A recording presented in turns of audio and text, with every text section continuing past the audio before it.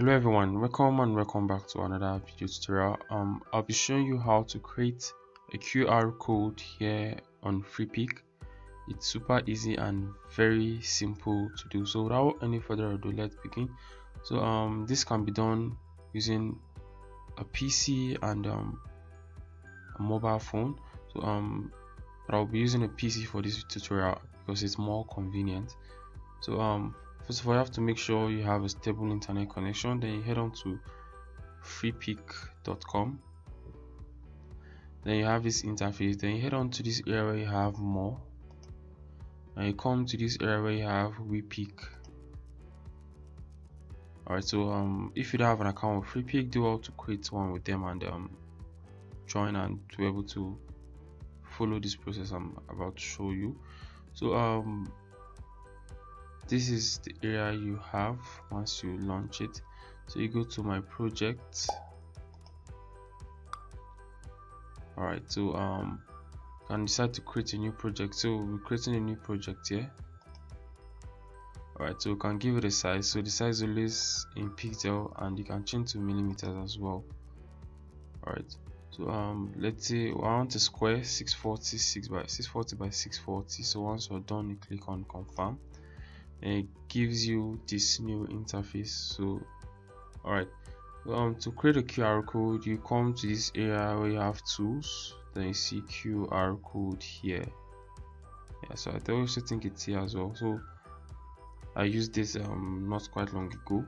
So um but ordinarily this is how it comes. Yeah once you have this interface then you come to this area you have tools. Then you see qr code. Then you select it so enter a url and um, a qr code will be automatically generated to include in to include it in your design and I'll be able to scan it and access that URL. So URL is like a link, yes, to maybe a web page or whatever. Right, so you can decide to add your WhatsApp link. The WhatsApp has that option of QR code though. So let's say your Facebook, your Instagram. So once the person scans it, it just goes to your Instagram and um, other things as well. So for this tutorial i just use my um, youtube channel. So the link i think it was mostly for link. Yeah. Alright so once i'll just paste it here. So you can paste whatever you decide or you want to paste there.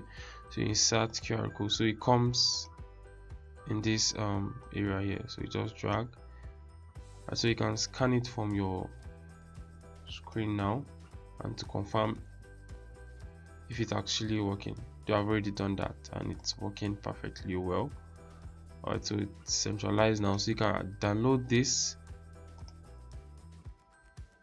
and um, use it for your project. So I want to download PNG without background. Alright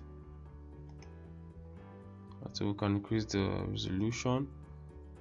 Yeah so once you're done you click on um, download. Alright so um depending on the resolution you chose the download period will take a little while. So this is it basically. So here we have it here. Alright it's very simple and easy to do. So guys um that is it on this video on how to create a qr code here on freepik it's very easy and simple to do just like i told you. So guys um if you found this video helpful do all to hit that subscribe button. Turn on the post notification bell to get notified when upload whenever I upload new videos. And don't forget to like share and um, drop a comment about this video and let me know what you think. Thank you for watching and um, see you on the next video tutorial